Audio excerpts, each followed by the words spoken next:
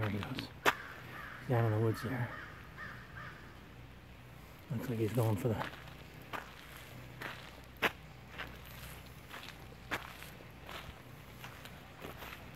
Looks like he's got a chipmunk.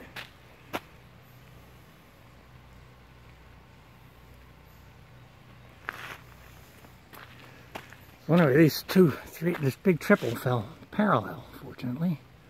But this other guy, and this one fell parallel to the power lines.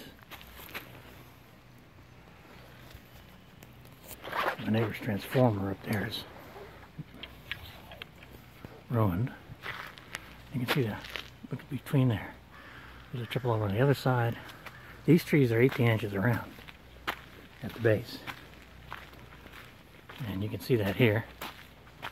Look at that root ball. That root ball, if I were to stand in that hole, we'll get over there. There's one over on the other side. See it leaning? It's another huge tree. Here's where I get the wires tied back. These are the ones, this is the one looking at you that took the wires down. If you look at that root ball, look at the hole in there.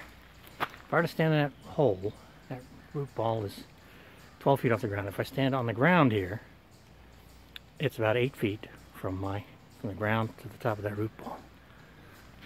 And you see in the background, neighbor's trees down. And there's the size of those logs. I mean, there's my hand grabber. And you can see that's that's about 16 inches on that one. But that's further up the tree. Look at that baby.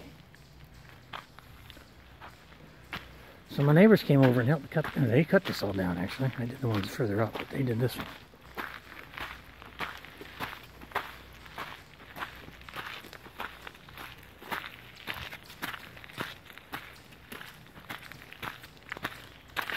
And again, it just flipped on over that root ball again is 8 to 10 feet off the ground to the top of it.